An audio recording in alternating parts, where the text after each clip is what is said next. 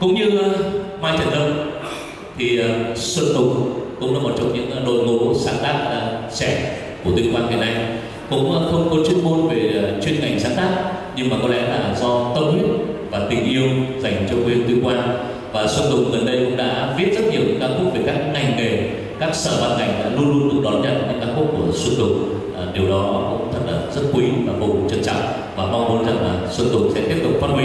Và ngày hôm nay xuân tùng cũng đóng góp vào chương trình chúng ta một ca khúc tuyên quan âm văn mùa thu. Xin được trân trọng giới thiệu với quý vị qua phần biểu diễn của tốt ca nam nữ. Trân trọng mời quý vị cùng thưởng thức một sáng tác của nhạc sĩ xuân tùng. Xin mời.